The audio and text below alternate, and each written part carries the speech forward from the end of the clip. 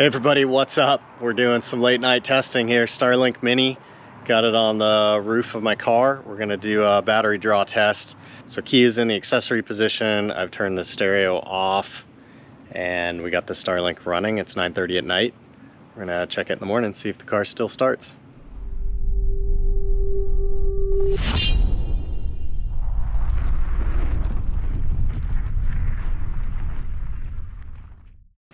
Okay, so here's the, uh, of course I waited till it's dark out to do this. Hi boy. Uh, Starlink Mini is just sitting on my lawn. Cable's running over there, plugged into the wall. Just wanted to get it uh, set up the traditional way. So it says, according to the app on my phone, says that it's online. Downloading the update 40, 40%. So the plan is to let it get 100% online the way it comes out of the box with the AC adapter in the wall and the cord it comes with. And once I know I'm connected to the internet and everything's working good and the Starlink works, then I'm gonna unplug it, use one of the 12 volt cords that I've I've got here, and and uh, we'll start we'll start our 12 volt in car testing. All right, so I'm using the 10 foot cord I bought off Amazon. Uh, my car needs to be in the accessory position for this port to be hot. So that's what we got going on right now. Um, I'm not sure if this amp clamp just isn't sensitive enough because I checked it on the AC adapter that it came with too and it was showing like 0.3 and right now it's showing 0.14 and I thought I thought everybody said it would pull like 3 to 5 amps booting and then 1 to 3 amps uh, running. So I, I don't know I don't know what to think of that. Then I just got the cord going out the window and the Starlink's up on the roof. So I'm gonna do a worst case test right now. It's 9.30 at night, so I'm gonna pretend that I just got set up at camp and I powered up the Starlink, I left my key in the accessory position, and I had too many beers and I fell asleep. So we're gonna find out in the morning when I get up to go to work if the car battery's dead or not. 9.27 at night right now and I have to get up in the morning at 5 and get ready to go to work. So I'm going to see if the car starts tomorrow when I get up to go to work because this is so yeah this vehicle has the the smallest battery of any anything in my fleet so I figure if it's gonna kill a car battery overnight it's gonna kill this one uh, most of the stuff I go camping with would have uh, like a group 65 if not maybe two of them like my diesel so let's uh, let's see what happens tonight. Um, I was hoping the amp clamp was going to be a little more helpful, but it's only showing like a quarter of an amp, so I'm not sure I trust that. I'll check battery voltage in the morning, and then I'll try to start the car, and we'll see what we can learn.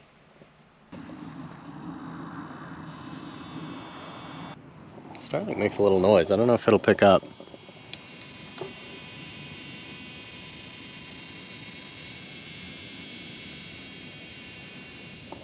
It's in there it's in there doing things. I'm gonna leave it on. Maybe I'll go inside watch some YouTube off the signal and then we'll check the battery voltage on the car in the morning and see if it starts.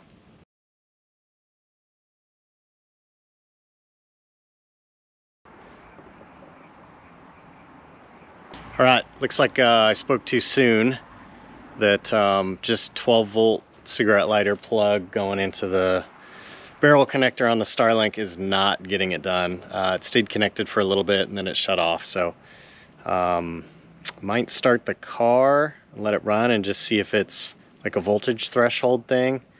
Uh, but I also bought that uh, voltage converter because I'd kind of heard this might be a thing. So anyway, we'll uh, we'll keep testing here. Okay, so I mentioned that it um, mentioned that it ran for a little bit and then shut off. So what I'm gonna do is unplug this and we're gonna check the voltage in there. Let's see, uh, see what the cigarette lighter is. Okay, I'm getting 12. Let's see if I can show this. Getting 12. So pretty much what you'd expect. So let's just fire up the car.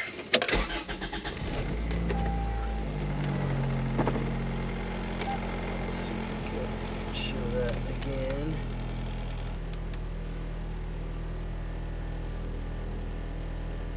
1297, 13 and a half, 14.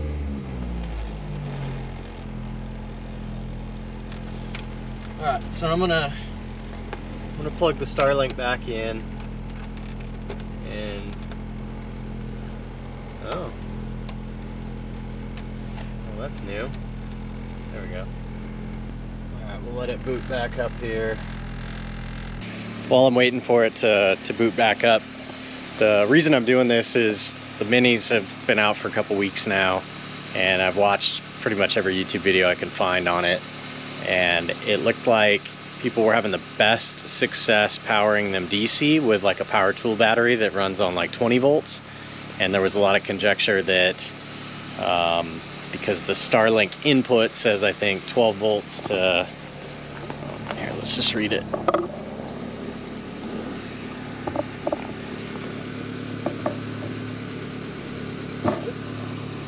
It says 12 volts to 48 volts so the input for the Starlink says 12 volt to 48 volt DC.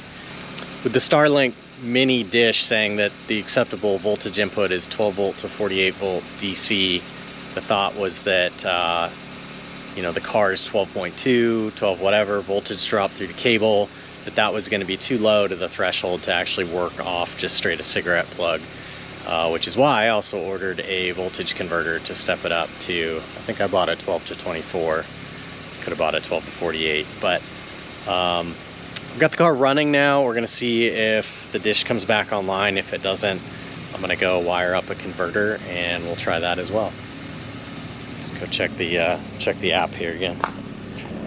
It says Jones Mini is blinding it too much. Jones Mini online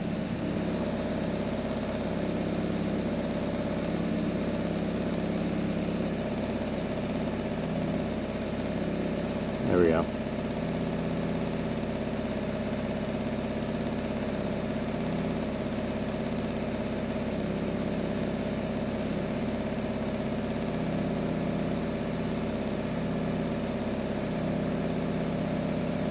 All right, 44 down, 13 up, 24 milliseconds, whatever all that means. Uh, so, what have we learned? We've learned. So I had it plugged into the cigarette lighter with the car off and it stayed online for I don't know five maybe ten minutes I didn't time it I just went to check the connection and I saw that it was down uh, I'm just gonna let the Geo idle for a bit and confirm that it will stay online with the car running which will kind of prove my belief that it is a, a voltage threshold thing um, so we'll see we'll uh, check back in like 10 minutes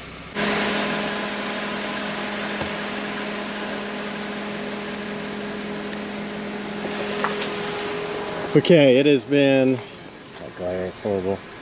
Jones Mini, still connected. Uh, it's been at least 10 minutes. Car's running. That definitely seems to make a difference with the uh, connectivity. Or not even connectivity, I should say, but just the, the actual operation or, or function of it. So what I'm going to do here to confirm that it is voltage sensitive at the at the bottom end of the spectrum there is I'm going to go ahead and turn the car off. And I'm going to wait and theoretically in I don't know reasonable amount of time. So again I'm going to leave it in accessory so that it's hot and stereo's turned off. But theoretically theoretically this thing will struggle for power here in I don't know 5 10 15 minutes. And then uh, when it goes offline I wired up the converter cord. I've got that in the house so. Okay so now we wait. We're back uh, car is shut off. And if my theory is right that uh, that it's going to struggle with the lower voltage that uh, it should go offline here in I don't know 10 15 minutes something like that and when it does that uh, I bought more parts and I've got a cigarette lighter to DC DC converter, step up converter to barrel plug. So we're going to be 12 volt cigarette in, converter step up to 24 volts, and then to barrel plug. So see if that works when this goes offline. Okay, good morning from the Starlink test studios. Uh, 5.30 a.m. getting ready to go to work. I woke up and checked the connectivity from my bedroom, which is on the far end of the house over there, probably 70 feet away. And it showed Starlink Mini online. And then quickly thereafter, it said disconnected, no internet connection offline. So I think it can sit idle, as in do nothing. Uh, but as soon as you start doing speed tests or using the internet, I think it probably needs more volts and amps and uh, kicks offline. So right now I'm gonna pop the hood on the Geo. I'm gonna check the voltage on the battery and then uh, see if the car will start. Uh, and then the next test will be, uh, I'm driving the Excursion to work today, so I'm actually gonna plug it in and put it on the dash, even though it's not for use in motion And see what it does on the way to work. Getting 12.1 volts at the battery. So a little low for sure. But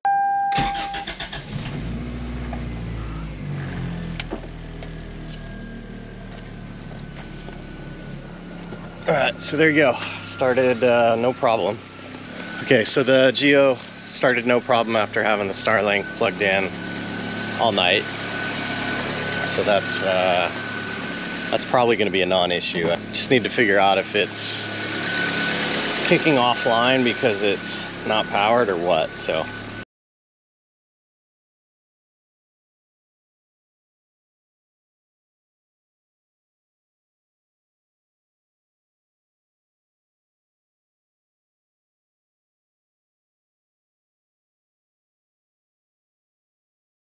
So now the Geo's running back online. Speed seems really good right now. Uh, it's been all over the map, kind of anywhere from 40 down to, you know, that 120, 130 range. So, um, I don't know how common that is, but whatever. All right, so I'm gonna, I'm gonna throw the dish in the excursion and take off for work. All right, so we got, we got Starlink on the dash, plugged in. Uh, it shows online, but it says the tilt is incorrect. It just shows the alignment now that I'm facing west is, is good. But anyway, so we're just gonna leave it uh, kind of all crummy like this. And we're gonna turn off cellular.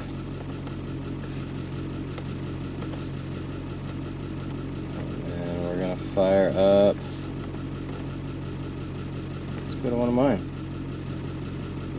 Um, let's watch half an hour of fixing a boat sunk in a Lake. So many tires, and the thought of choosing the. Yeah. So we're gonna. Oh, there you go. There's some water. This is pretty hilarious. Hopefully the audio comes through. Let's see if we can do all the wrong things and uh, stream YouTube while we drive to work today. Somewhere in Mexico, though. Wouldn't would never do this in the United States. That would be illegal. Hey everybody, what's up? Welcome back to another episode of Chasing 518. Today, I'm on a boat that's sunk.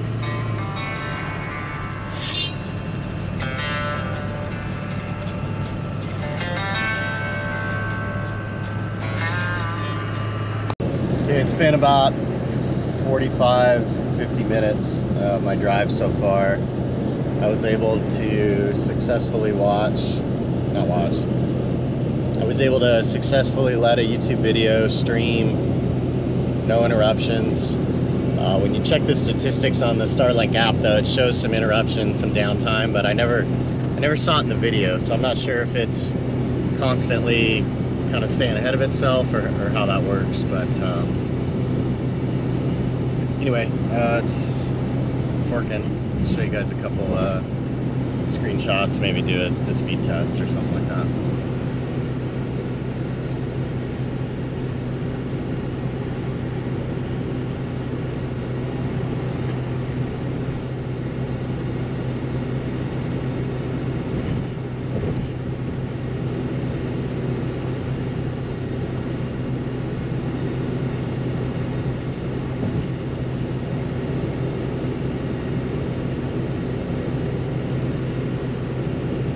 I didn't really intend to do uh, in-motion testing because I know the, the Mini says it's not, not for use in motion, which I think has more to do with an FCC licensing thing. I'm mostly just trying to check power supply because I wanted to eliminate that that AC adapter, AC transformer that it comes with and the big long cord. So my goal is to buy a the case from Harbor Freight, one of those like Apache things, and just keep the Starlink in it with uh, one or two cord options, maybe based on length, or if I end up needing that step up step up converter, and uh, just keeping that case handy so that I can throw it throw it in the chase truck, throw it in the RV, whatever, and then uh, if we need if we need some internet to ask for help or look for parts or get in contact with family or whatever, that I've, I've got that option. So. Okay, let's keep driving. Keep testing. Science.